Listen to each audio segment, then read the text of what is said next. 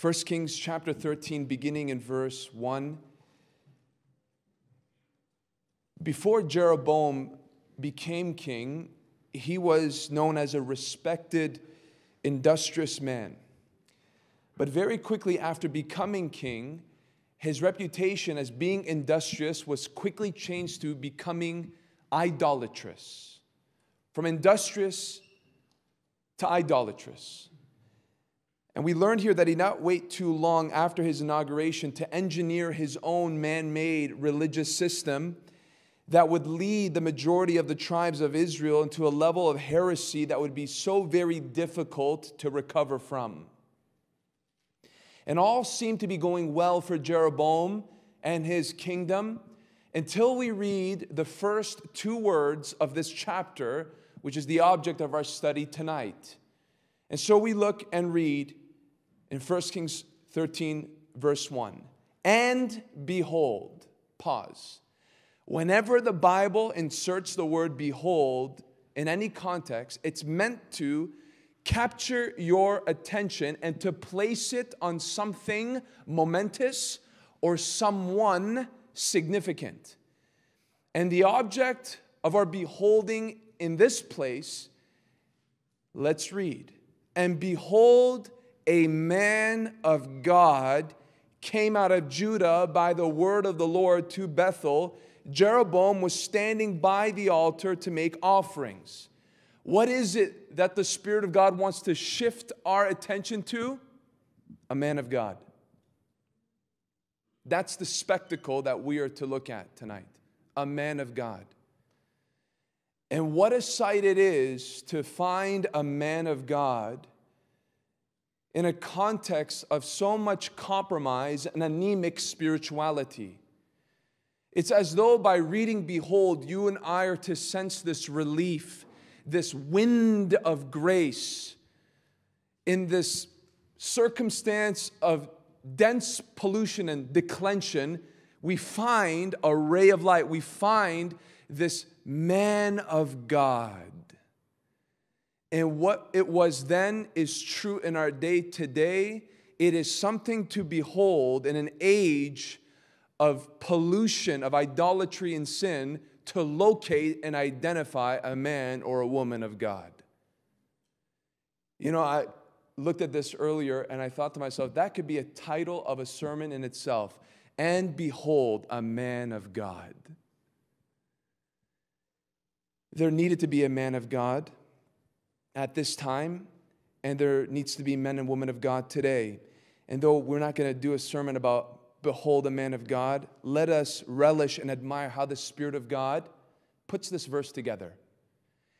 And behold, a man of God came out of Judah by the word of the Lord to Bethel. That's very specific and for a good reason.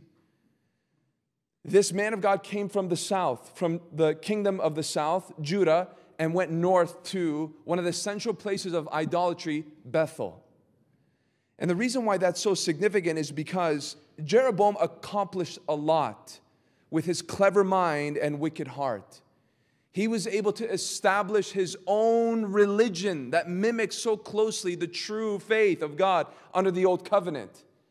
And this man was able to do what? He was able to formulate his own feast. He was able to create his own centers of worship. He was able to even recruit his own line of priests. And, and with all of that, you know what Jeroboam was not able to raise up? A man of God. Notice that the man of God didn't come from Bethel, he came from Judah. Do you know why that's important? Because we learned last week in Second Chronicles 11 that all those whose hearts sought the Lord trickled down to Judah because Jerusalem is where God was truly worshiped. So you had the Levites and you had those who truly wanted to worship God who moved south. And the godliness of the north was so empty, so vacated, that there was nobody from the northern tribes to be raised up to be a prophet. God had to send somebody from the tribe of Judah. You know what empty religion can do? Do you know what vain religion can do? Do you know what worldly Christianity can do in the context of ministry in local churches? It can fill up calendars with events. It can. Oh, it can gather crowds. Oh, it can perform religious rituals and services. But I'll tell you what empty religion can never do it can never foster men or women of God who are able to be sensitive to the Spirit of God and transmit the pure Word of God. Empty religion can never do that. It can put on a show, it can have buildings, it can have impressive, elaborate things, but what it can never produce is what we see here a servant of God, sold out for God, in tune with God, walking with God. And that's what we find here. Jeroboam could have fabricated much. He could have done much with his abilities, but he could never, ever draw out what came out of Judah a man who knew God. And that's what we see here a man who knew God. And Jeroboam was about to meet this man of God. What does this unnamed prophet stumble upon as he arrives to Bethel? Well, we read it, did we not? Verse 2 tells us, And the man cried against the altar by the word of the Lord and said, O altar, altar, thus says the Lord, Behold, a son shall be born to the house of David, Josiah by name, and he shall sacrifice on you the priests of the high places who make offerings on you, and human bones shall be burned on you. He comes to this altar because in verse 1 we read that Jeroboam was standing by the altar, ready to make offerings on it. Why is that an obscene description concerning Jeroboam? Why is us finding Jeroboam by an altar ready to make offerings on it something that should be extremely offensive to us, knowing what the Bible has to say about altars and sacrifices? Any idea? He's not a priest, he's a king. Yeah, and in his own man made system, it's totally valid to be able to operate as a king and to mingle and to be a priest at the same time, but that is illegal according to the mind of God and the law of God. You will never find legitimacy, you will never find divine approval throughout all the Old Testament of a king who attempts to operate as a priest. Never. And whenever it does appear, whenever any king pursues that, it is met with swift and severe discipline. The only exception is what we studied in 2 Samuel when we found David, who was operating as a priest, and his sons were also designated as priests. And if you want to know the deeper explanation behind that, then find that in 2 Samuel, I believe, chapter 8, where that is described in greater detail, and we expound upon that. And there's good reason why it's tolerated there. Apart from that, you'll never see it. Do you know why it was wrong for any king to become a priest? Any idea? Why was that hybrid position never to be entertained or engaged in? Here's the answer because it was reserved for one person only. It was reserved for one person only. The Bible predicts that there would be one who would be on the throne and he would also be a priest. And the person who fulfills that office is the Messiah, and the Messiah is Jesus Christ of Nazareth. So to attempt to operate in that role is to rob God of his prerogative in the person of Jesus Christ. This is for one person and one person alone. No one is ever able or tolerated to entertain that same position. So this is what Jeroboam's doing. He's king, but he's also functioning in the office of a minister. And now we see that this man of God in verse 2 does something. He comes to this scene and he flashes in the surrounding of abominable apostasy, and he has a message to declare. And interestingly, who did he speak this message to? Look at verse 2 again and tell me who he's speaking it to. The altar. He's not speaking to Jeroboam, is he? He's not speaking to the false priest, is he? Can you imagine the sight? Can you imagine me speaking to this? Oh, pulpit, pulpit. That'd be kind of strange, right? But it's on purpose. The message is intentional, the delivery is just as intentional. But in speaking to the altar, not only is he calling out how this is wrong and evil, and he's, he's highlighting the object of offense, but it's almost that there is an indirect message in the way that he is proclaiming this message. It's as though Jeroboam has become so hard of hearing Though he was privileged himself to receive a personalized message from another prophet at a previous time, he's become so hardened, so spiritually deaf, so indifferent that God doesn't even honor to addressing him directly. He speaks to the altar. As though to say, these stones that you've gathered and put together have a greater willingness of hearing what the word of God is than you, Jeroboam. That's a rebuke. That's a rebuke. And what we're about to find out by way of miracle is that this altar, in fact, does respond to the word of the Lord, and Jeroboam doesn't. What this prophet's going to declare about this altar, the altar submits to, and here's this man who's created in God's image who still is stubborn. So, this is a stark contrast between an inanimate, inanimate object and a person with flesh and blood created in the image and likeness of God. And stones are more willing to testify and obey than a, than a man. And you know what came to mind when I looked at this, when I thought about this? A statement that Jesus made in Luke's version of the triumphal entry. We studied that a couple weeks ago. And I want you to see it with your own eyes because Luke adds a detail that Matthew and Mark does not include. It's in Luke 19. Turn to the New Testament and look at this with me in Luke 19, verse 39 and 40, where Jesus enters into the holy city and the crowds are going crazy. There is ecstasy, there is excitement, there is praises, almost deafening praises. And who's there? The poor and pitiful Pharisees and they're so overwhelmed by what's happening. They can't control it, and all they can do, you can almost sense how helpless they are. They can't deal with the crowd, they can't control the roarings, so they look to Jesus. And they say this in verse 39 And some of the Pharisees in the crowd said to him, Teacher, rebuke your disciples. They're asking you to save them and deliver them. They're declaring and, and providing you accolades and messianic prophecies. And look what Jesus said. He answered, I tell you, if these were silent, the very stones would cry out. Can somebody give me a one sentence explanation of what Jesus meant by that? Anybody? Anybody want to give a try?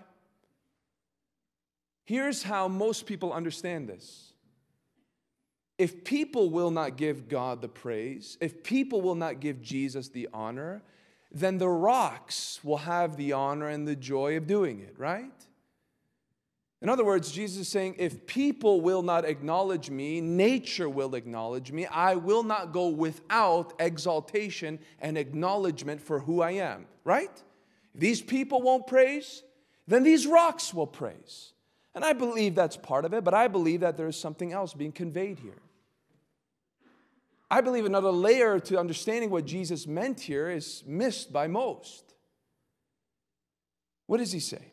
I tell you, if these were silent, the very stones would cry out. Most understand this as hyperbole. Most understand this to be just a, a poetic way of, of making a statement. But it's very likely that there's another way of understanding this, a double layered meaning, perhaps. Perhaps when Jesus says that these stones will cry out in the midst of the silence of the people, to mean something else than crying out songs or accolades. That the crying out here is not about joy, but about judgment. Not that if the people won't praise, then the rocks will fill in the void, but if the people will not praise, then the rocks will cry out and condemn the people. And this imagery of something even like this, an inanimate object, being a witness or testifying against the faithlessness of the people, is not foreign. Jesus didn't introduce it for the first time, it's throughout the Old Testament. So let's do this together because we're in Bible study. So open your Bibles and go to Joshua 24. I want to make this case. In Joshua 24, verse 27. This is at the end of the book of Joshua when the nation of Israel was ready to enter into a new season where the leadership of Joshua was coming to an end. And so Joshua provides this final exhortation for the people to remain faithful beyond his lifetime. And this is what he says near the end of his sermon In Joshua 24, verse 27, we read, And Joshua said to all the people, Behold, this stone shall be a witness against us, for it has heard all the words of the Lord that he spoke to us. Therefore, it shall be a witness against you, lest you deal falsely with your God. So he erects this stone, and metaphorically speaking, he says, This stone heard what I said to you. It heard you saying, Yes, we agree, we will remain faithful to God. And so it stands as a memorial and as a testimony and as a witness against you that whenever we look upon it, we remember we made a commitment to God. And if we fail to honor that commitment, the stone is here to remind us you're walking away from what you said. Here's another interesting passage in Habakkuk. Go to the prophet Habakkuk in chapter 2.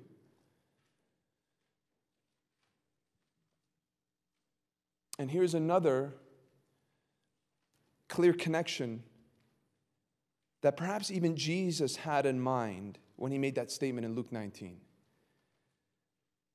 So he's describing a series of sins, and the prophet says this in verse 11 of Habakkuk chapter 2 For the stone will cry out from the wall, and the beam from the woodwork respond. Why? Why will the stone of the home cry out? Woe to him who builds a town with blood and founds a city on iniquity. So you again have this imagery where when people are walking in darkness and in sin, you have these objects, these furnishings, these materials who will, in a sense, call it out. They are, in a sense, witnesses of it. They will speak out against the injustices. And in this context, a specific injustice violence. Violence being committed. So I'm making a case here very briefly that it's possible for this imagery, for this proverbial thing of stones crying out in the context of judgment. And here's Jesus saying, if these people will not praise, then these stones will cry out. And at this point in Luke chapter 19, the stones were silent. Do you know why they were silent? Because the people were praising. The people were crowning Jesus with their honor, at least to a certain degree. But here's my question to you you know this very well. Did their praise persist? No, no, no. In the very same week, a very few days later, their praises of Hosanna were replaced with hisses of crucify him.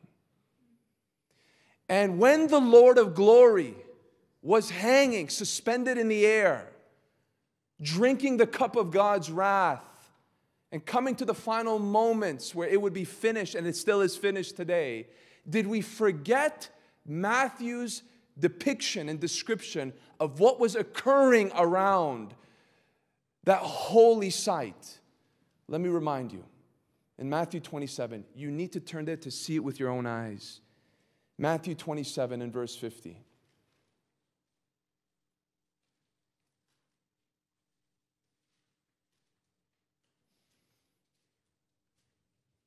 Matthew 27, verse 50. And Jesus cried out again with a loud voice and yielded up his spirit. And behold, the curtain of the temple was torn in two from top to bottom, and the earth shook, and the rocks were split. This is the case I'm making.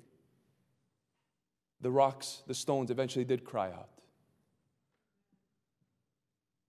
They were silent when Jesus entered, but when the people were violent, who committed the worst act of violence known to human history, the rocks testified. The rocks split. Do you think rocks split silently? And I like to see this as a connection to what Jesus said earlier. If these people will not acknowledge me for who I am, then the rocks will testify about who I am, but will also testify against the people for condemning the wrong one and for removing the crown that he deserves and placing a crown of thorns instead. Here are the rocks crying out. And now we come back to our main text in 1 Kings 13, and we see this altar, this altar would also cry out. And we see here the deafness of Jeroboam. And guess what? It's a warning to us. Jeroboam's stubbornness is a call to you and I to be careful that we do not become indifferent and irresponsive to the word of the Lord. And let me show you a text that tells, tells exactly that.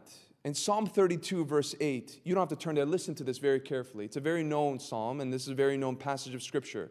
In Psalm 32, 8, the psalmist says, I will instruct you and teach you in the way you should go. I will counsel you with my eye upon you. And then he goes on to say, Be not like a horse or a mule without understanding, which might be curbed with bit or bridle, or it will not stay near you. So we have to connect those two verses. Here's the psalmist now speaking as a teacher. Some would say speaking on behalf of God. God saying, I will teach you and I will guide you. Whichever way you go with it, still applies. Still applies with this principle. I will teach you, I will instruct you. And the primary way that God instructs you and I is through what He has revealed His Word. His law, His commandments, His promises, His warnings. And He's beckoning, this is the means, this is the way in which I will protect you and lead you and prosper you. And then He follows it up with a warning. As though to say, if you will not take heed to my instructions, if your heart is not tender and soft to the word of the Lord being declared over you, or as you discover it for yourself, don't be like this by refusing to uphold the word of God with such authority in your life. Be not like a horse or a mule. Horses and mules can be stubborn animals, they can be obstinate, they can be difficult. Like most animals, they have the tendency to move ahead when you don't want it to go anywhere. And when you actually want it to advance, they sometimes are rock hard and stay in place and to the displeasure of the owner and to the unpleasant experience of the beast, oftentimes what's needed is an instrument that may cause pain and discomfort in order to get that beast to its desired location or destination. And the psalmist takes that analogy and he applies it to us. And he says, Listen, if you're not willing to take heed to the word of God, you know, like getting distracted when the word of God is being declared and, and, and thinking that it has no relevance to you and and not having that trembling before the Lord and not having that desire to hear from Him, if, you are, if you're there, you're opening yourself up to God implementing and employing a different means to guide you. And just like a bit or a bridle, it's not fun when He does it. The parallel to the bit and the bridle is afflictions, painful trials, loving wounds to get you to where you need to be, to keep you in the place that you need to be, or to bring you back on the track that you abandoned. So here's the warning when you begin to feel that hardness of heart, when you get bored with the Bible, right? When you feel, when you are able to not grasp what's being said, what's being read, what's being shared, what's being counseled, you're opening yourself up to a different delivery in your life. If you're truly a child of God. If you're not a child of God, one of the worst things that can happen is God leave you alone. But if you do belong to God and He's trying to get your attention, and guess what? Here's Bible study, and God is speaking loud and clear because His word is opened and here are circumstances and here are phone calls of people and here are things happening in your relationships where the word of god keeps coming up principles from the word of god and you keep dismissing it you keep dismissing it. God in his love is ready to put a bit and a bridle on you. And he's ready to harness you to try to get you where you need to be. It doesn't have to happen that way. It doesn't. The only trials and and afflictions and seasons of testing you want is while you're walking in obedience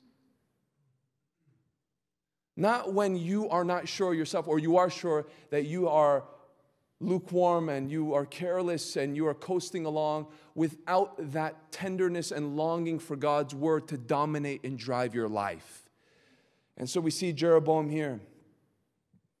He's become so hardened to the word of God that now this altar is being addressed in his presence. And then a prophecy goes out. Here's the prophecy. You read it with me. O altar, altar, thus says the Lord Behold, a son shall be born to the house of David, Josiah by name, and he shall sacrifice on you the priests of the high places who make offerings on you, and human bones shall be burned on you. This is a profound prophecy for two reasons. Number one, because it is a powerful rebuke to Jeroboam. Number two, because it is so precisely accurate in its prediction. So here's the rebuke Jeroboam was promised by another prophet that if you are faithful to me, I will give you a promise like what I gave to David. You will have descendants occupying the throne for generations to come as long as you remain faithful. And now, after a season of disobedience and ignoring God and pursuing idolatry and leading others into that same way of life, a prophet comes and he says, Your altar, this thing that you set up and invented, it's going to be desecrated. And do you know who's going to desecrate it? One of David's sons. You know what he's saying? I'm preserving David's dynasty. I'm ready to put an end to yours. And so powerful is this rebuke that God, in his wisdom and in his holiness, even names the person who's going to do it. It's not common for God to name people in prophecy when it's about to ha- when it's going to happen far down the road from when it was declared. And that brings us to the second point. The power behind this is how precise this prophecy is. Josiah comes on the scene as a king three centuries after this was prophesied. Can you imagine that? Just a little bit over 300 years this was declared. Josiah, a son of David, as a king, will fulfill this very word that was declared by this unnamed servant of God. So let's rejoice at the supernatural reality of the Word of God and turn to 2 Kings 23 and see the fulfillment of it. You know, skeptics and, and, theological liberals are so appalled by this that they believe that an author inserted this after the fact and not 300 years before. No matter how much evidence you give to some unbelievers, they will try to explain it away because they love darkness that much. Second Kings 23 16. And as Josiah turned, he saw the tombs there on the mount, and he sent and took the bones out of the tombs and burned them on the altar and defiled it, according to the word of the Lord that the man of God proclaimed, who had predicted these things. Can you imagine that? 300 years after, God said he would do what he would do. And it happened. Some of us forgot what we ate three days ago. Some of us forgot what we ate this morning. God doesn't forget his word. He said it and he'll remember it as though he just said it 300 years after it was declared. And so this is the fulfillment of it. This is what's so powerful about this message. But we have to continue, right? Look at verse 3 of 1 Kings 13. And he gave a sign the same day, saying, This is the sign that the Lord has spoken. Behold, the altar shall be torn down, and the ashes that are on it shall be poured out. And when the king heard the saying of the man of God, which he cried against the altar at Bethel, Jeroboam stretched out his hand from the altar, saying, Seize him. And his hand, which he stretched out against him, dried up, so that he could not draw it back to himself. Like many of the miracles in the Bible, God often authenticates his message through the supernatural, some demonstration, some manifestation of the unexplainable, so that the hearers of the word can say, This has been surely authored by God. This message stems from the heavens. And this demonstration is just that it's a confirmation that what the man of God just said was going to happen. But not only was it a confirmation to the prophet's word, it was another blow of mercy to that callous heart of this king. Something that would collide with the ice in his chest. And what was the response, right? Some people believe that if we just have more miracles, people will be more susceptible to believing. Not so. Here's a miracle. Here's a miracle ready to happen. Here's a sign and this man, all he had to do was step back and say, okay, this is from the Lord. Let's see this altar break in two. I want to see the ashes pour out. Instead, he doesn't even wait for the sign to be performed. He is so filled with rage at the word that was declared that he raises up his hand, points at the man, and surely there was others around him.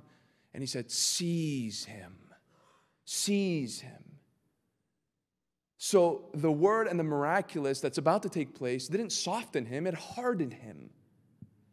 It didn't bring him to his knees, it caused him to raise his hand. And when I looked at this and I meditated on this, I thought to myself, what does this teach you and I?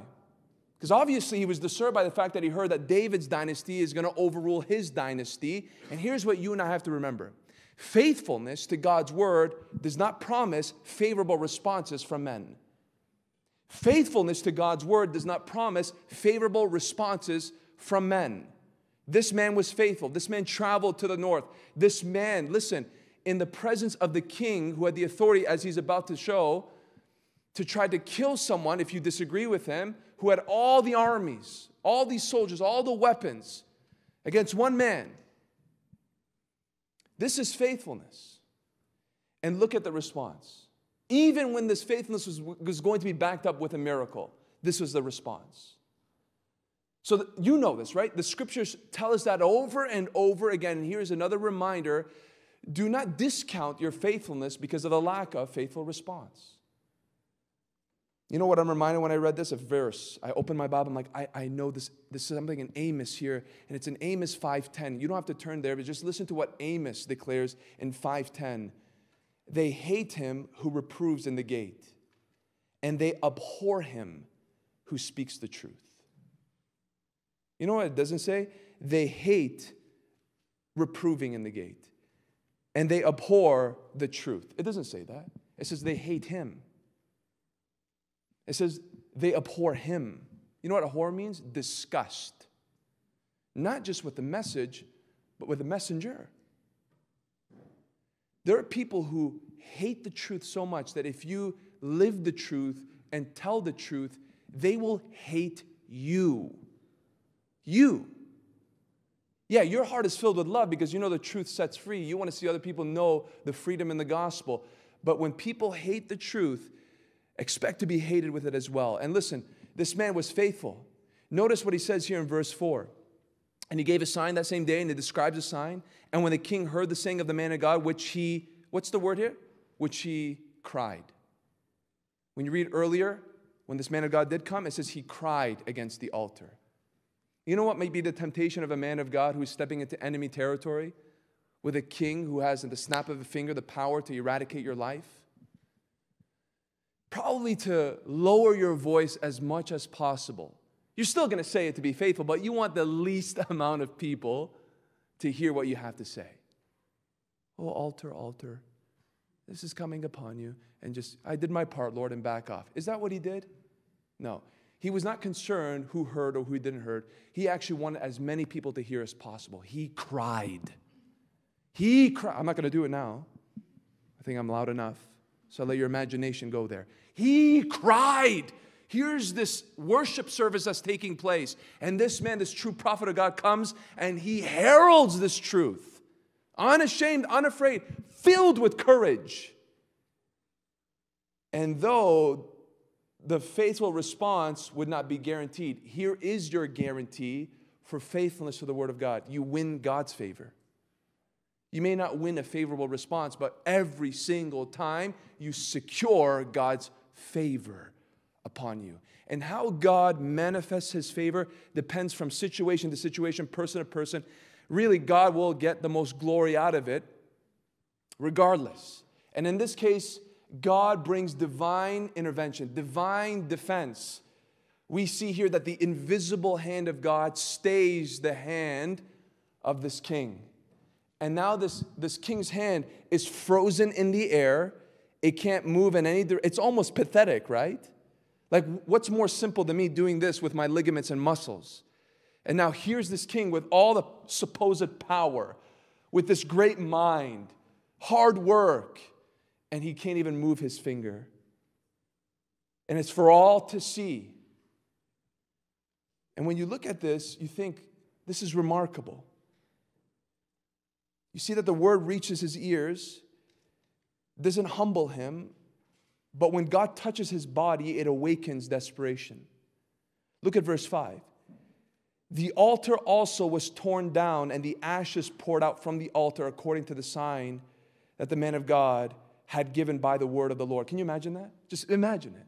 Here's this king, sees him, and his hand is frozen. And right in that moment, the altar breaks open, and the king's feet is buried with ashes.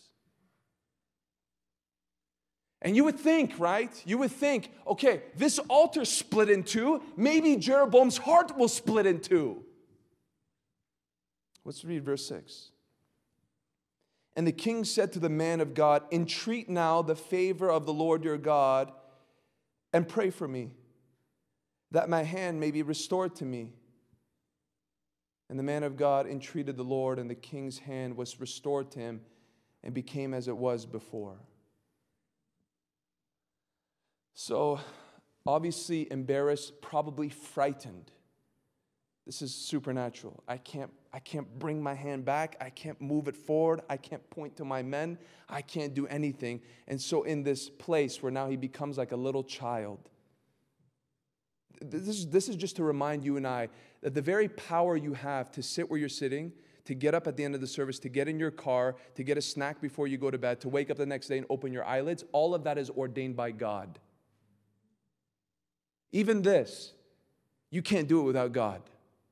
You can't move your nostrils if God doesn't permit it. So here's this man who can't move his hand.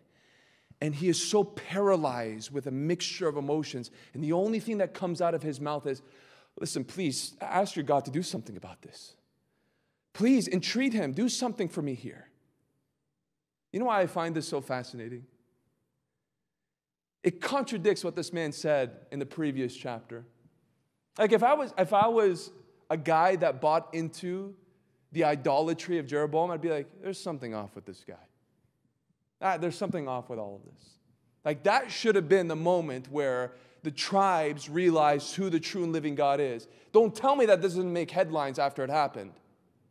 Frozen hand, here's a king who introduces golden calf worship again to the people of Israel Let's look back at what he said when he brought this idolatry into the land, something that's never been known since the days of Exodus. 1 Kings 12, look at verse 28 of 1 Kings 12.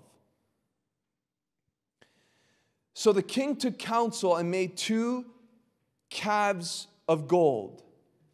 And he said to the people, You have gone up to Jerusalem long enough. Behold, your gods, O Israel, who brought you up out of the land of Egypt. Now, if you said, Behold your gods, okay. But you didn't just say, Behold your gods. You said, Behold your gods who delivered you. Behold your gods who saved you. Behold your gods who redeemed you. You know what comes to mind when I know that Jeroboam said this? Hey, Jeroboam, why don't you call out to your golden calves and see if they can help you now? You told everybody else that these gods saved them in the past and that, okay, if he was able to save them from Egypt, surely he's able to save you from your hand coming down. Why don't you call up to your gods now? He doesn't. What does he do? He entreats the Lord. He asks the prophet, hey, listen, can you intercede for me? Now put yourself in the sandals of the prophet for a moment.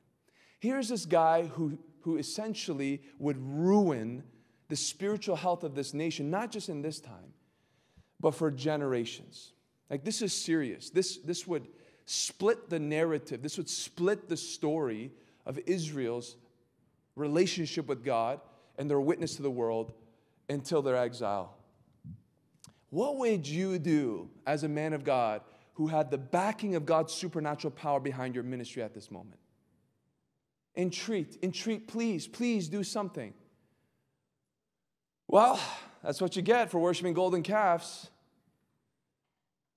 Enjoy that for a few days, and I might be back on another trip. And let's let, let just marinate in this for a moment, Jeroboam and learn your lesson, and then I'll come back for you, okay? All right. See you later, guys. You see what happened to you? Golden calves? All right. And he could have went back his merry way. He could have made a statement. No, he doesn't do that. Look at the rest of verse 6. And the man of God entreated the Lord, and the king's hand was restored to him, and he became as it was before. What do you have in this declaration and demonstration of judgment? Mercy. Mercy is reigning. So you have these clouds, right, coming over Jeroboam's life, Jeroboam's future, and with those clouds come raindrops of grace. God didn't have to do this. Now you might be sitting there thinking, why did God do this? If there was anybody who deserved to stay like a statue for at least a few hours, it was Jeroboam. Let him sit in the consequence of sin for a little bit. Do you know why God does this? Because, yes, he attempts and he, with his perfect power and wisdom, will try to draw you back with his chastisement, with his discipline, with his rod. But mercy is also his instrument of drawing you to repentance. Grace is also a means by which God softens the heart of the worst of sinners.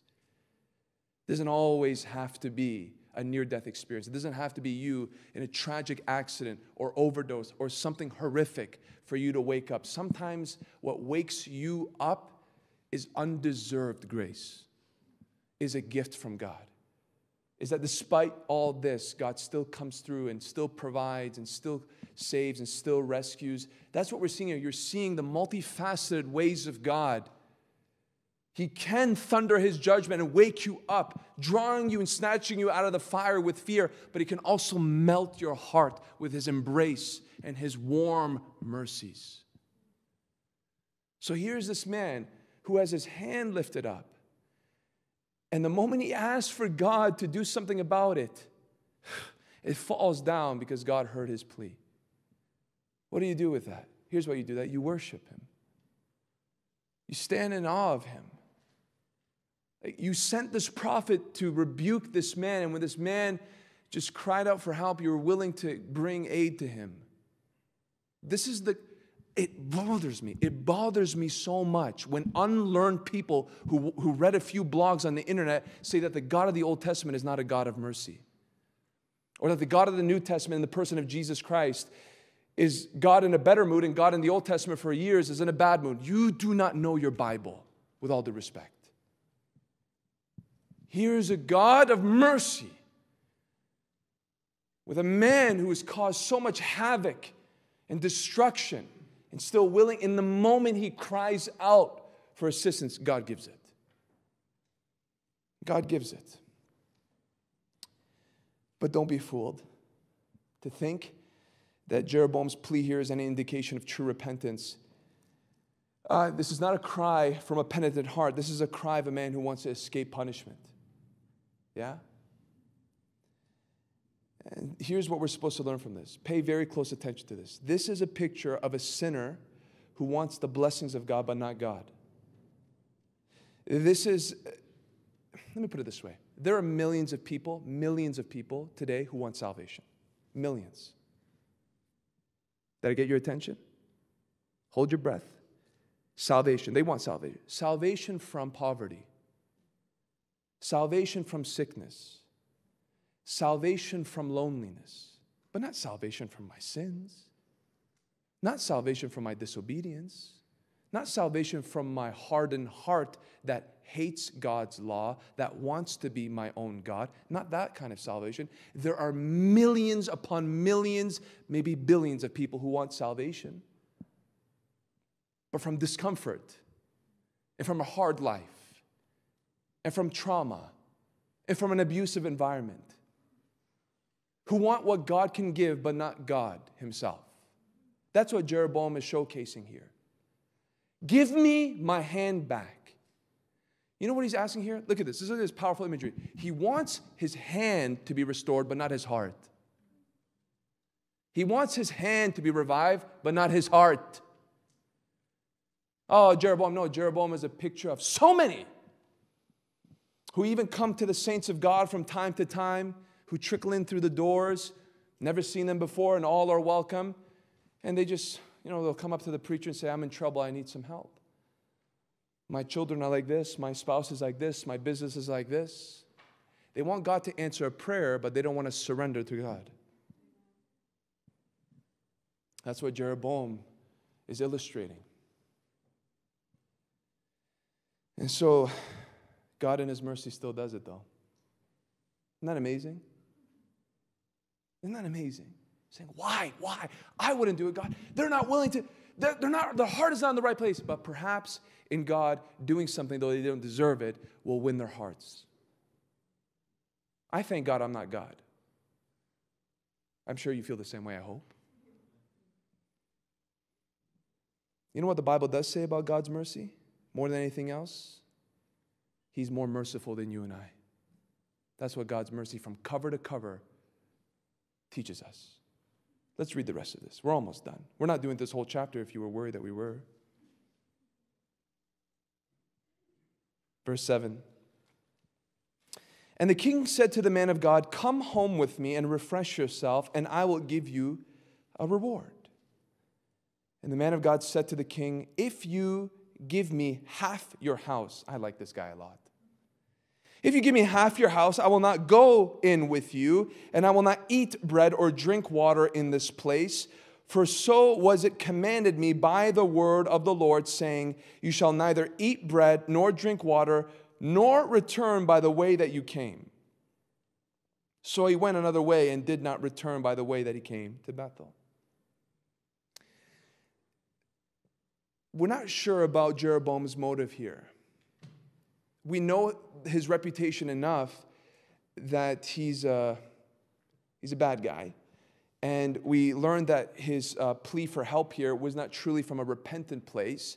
So if you have flags raised up, you have every right. If you have concern of this invitation, don't judge yourself and do be hard on yourself. You have right to be suspicious about Jeroboam's invitation here.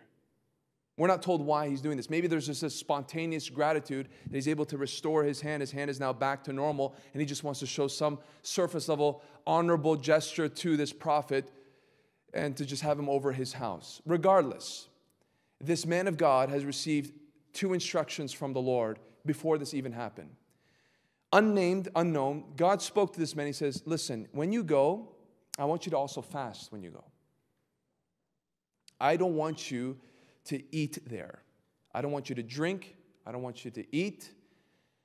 And that makes sense. That is an obvious application to us, is it not? The picture here is that if the prophet were to come with such a strong word against this idolatrous people, namely the idolatrous leadership, and he is found eating and fellowshipping with him, that muddies the testimony, does it not?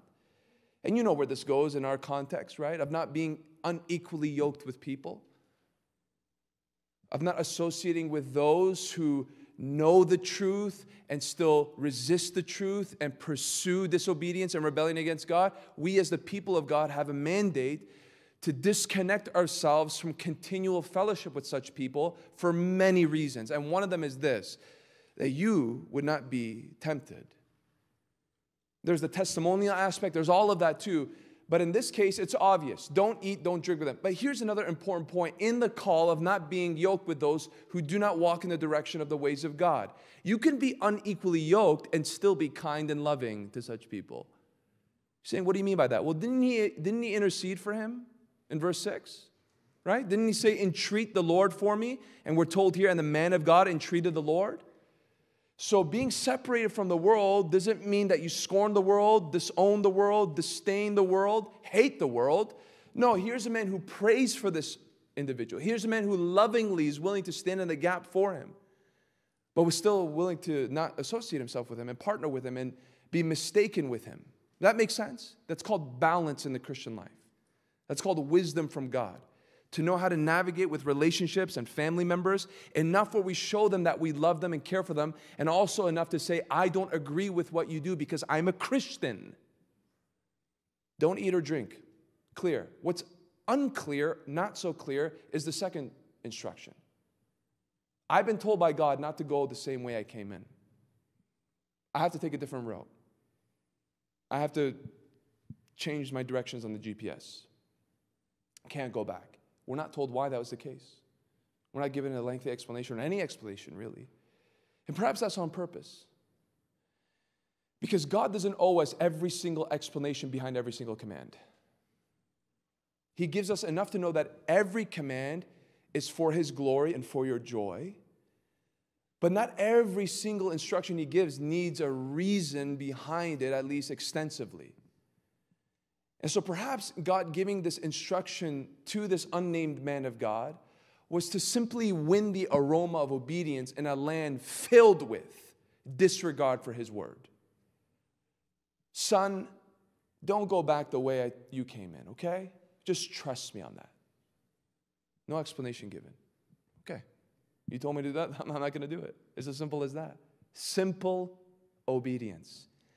And that is especially necessary to remember in times where you know the Word of God and you're in a situation where it perfectly aligns or calls for that step of obedience, but it may not seem relevant or it may not seem helpful, in those moments, trust and obey.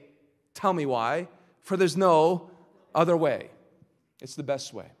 Trust and obey. Why can't, um, hey, uh, man of God, why can't you go back the way God told me to? That's enough for me. God told me to. Okay.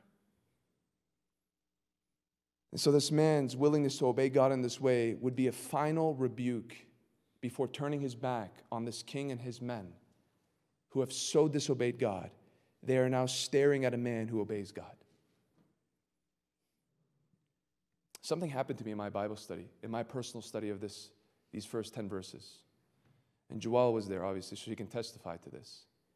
I'm coming near the end of the Bible study, and I noticed something. I noticed something, I thought to myself, ah, that could have been a whole Bible study on its own. Do you know how many times the title man of God appears in the first 10 verses? That's why, because you know, you're reading it, you're reading it, and you're looking out, okay, what about this altar? What about it opening up? Oh, stones. Jesus talked about stones, to testify and witness. You get caught up in all these things. And then I just stepped back and I said, I've been reading these verses, and all that keeps coming up is man of God, man of God, man of God, man of God, man of God, seven times in 10 verses. We don't have his name. Now, he could have been referenced by or identified as so many other things. So one might just explain this away simply saying, well, this is just to identify him. He's a man of God. We don't know his name, so he's a man of God. But again, out of all the ways you can describe somebody, the high honor of being referred to as a man of God, I believe there's something else in here. It's not just to give us a way to identify the man. Perhaps even in these 10 verses, we have the traits of a man of God. We have some of the elements of what makes up a man of God. Not all of them, but some of them. And I, I, was like, maybe we should do that for the Bible study. Maybe look at this seven verses of what this man of God does and doesn't do. Maybe there's something here about what a man of God is. And here's, here's how this ministered to me because I'm far, too far deep into everything else to go in that direction now. So I have homework to do. And maybe that's something you can look into. Here's, the, here's how I'm ending it. Isn't it amazing how, in one passage, God can speak in so many ways? That's what I took out of it. It's as though I got a nudge today, little nudge. You can look at this text in a completely different way and it still be faithful to the text. And I just, I was getting ready and I was just like worshiping the Lord and just thanking the Lord for the Holy Spirit for just giving that.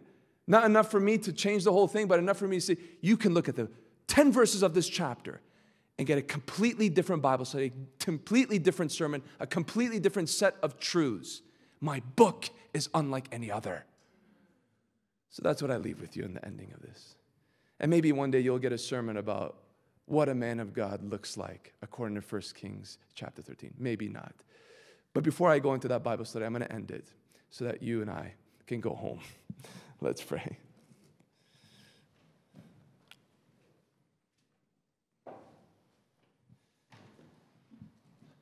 Worship the Lord with me, please. Honor him with me tonight, please. Bestow upon him the exaltation that he deserves. Lord, you are mighty. You are awesome. Your word is greater than any other spoil that can be found, any other reward that can be achieved any other experience that can be purchased or realized. Your word is our joy, it is our light, it is our sustenance, it is the window by which we see you, and we rejoice in your word tonight. Thank you for nourishing our faith tonight. Thank you, even reminding us that we can never exhaust the Word of God that when we feel like we have mined a certain cave of the Word, there are other layers yet untouched. There are depths not yet reached. There are pieces of gold and silver not yet uncovered. Lord, your Word is unimaginable in the sense that we can't fully grasp it. And Lord, if anybody ever comes to the point where they think they have a grasp on it, Lord, humble them to realize that can never be so. And if any person is bored with the word of God, Lord, infuse them with the revelation that your word is your voice and that you you have preserved this word and you have designated this word to be a lifelong supply of truths and treasures that can keep us stable and satisfied until we see you face to face. What a word this is. What a book this is. What an author you are. We acknowledge you today, Lord. We cannot help but burst out in praise for your word. And so we give you the glory that is due to your name. Revive us to the word, revive us through your word. May there be a revival of the word in the land again. Oh, we long for it, Lord. So open our eyes to see just how glamorous and brilliant the word is. We thank you for this portion that you have provided us today. Help us be men and women of God. Help us, Lord, be men who are able to speak the truth despite the lack of response Help us be men who also, yes, thunder the truth, but like this man, we're able to demonstrate grace and mercy and forgiveness and help to the sinner. Help us be men and women of God that regardless of the command you give, whether it is clear to our context or not, we say, He said it, so I will do it. Help us be men and women of God. We love you, Lord. We worship you. We adore you. You are the true and living God. And Lord, we know that one day, you will expose the foolishness of idolatry and man's innovations. And if you don't do it in this life, you will do it on that final day where everything that has been in your place by unbelievers will be exposed as nothing. Thank you that we walk in the truth. Keep us in the truth, lest you have to put a bit or lest you have to put a harness on us and force us or painfully redirect us. We want your word to be enough to be our guide and our compass in life. We give you thanks. In Jesus' name we pray. Amen. Amen. The more I study this book, the more Psalm 119 becomes a reality to me. I want to challenge you to something as the praise team comes up. Read Psalm 119, okay? It's all about the Bible. It's all about sentiments and emotions and realities and promises that come from knowing the Word of God. And here's what I want to encourage you to do. If you can't resonate with the psalmist in Psalm 119, get on your knees before God and beg Him for the insight that that psalmist has with the Bible. Beg Him.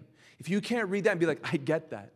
Oh, yeah, that, that's what I said. Oh, yeah, that's what I feel. Oh, yeah, that is true. If you can't get there, get on your knees with that chapter before your face. Say, God, please, I want Psalm 119 to be something I can quote and say, this was not just true of him, it's true of me do it.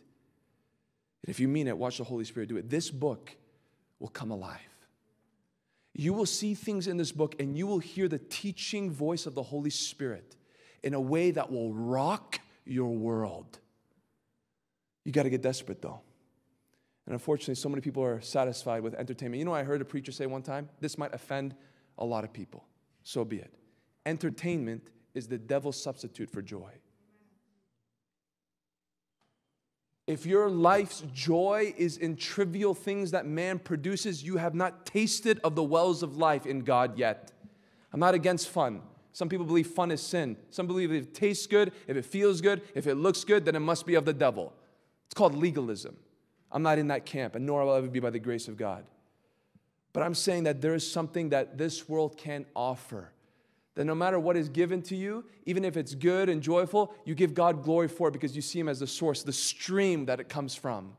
But oh, if your life is just one adrenaline rush to the next that you have to pay for, or you have to travel to, or you have to gain, you have not yet known the joys of what God offers.